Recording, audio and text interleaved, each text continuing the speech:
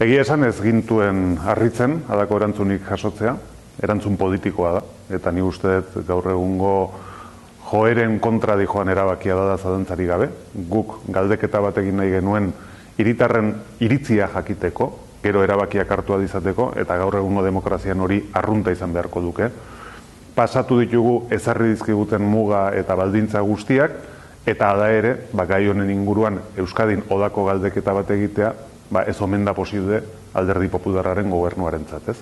Guk hori ez dugu inundik inora udartzen, ez dugu konpartitzen, eta garbi daukagu horren aurrean edegitea aurkeztuko dugu da, eta bideak bilatzen saiatuko garela, bazken finean erabakiak hartzeko gure iritarren e, iritzia zein dan jakina izateko. Hori baita demokrazia baten oinarria.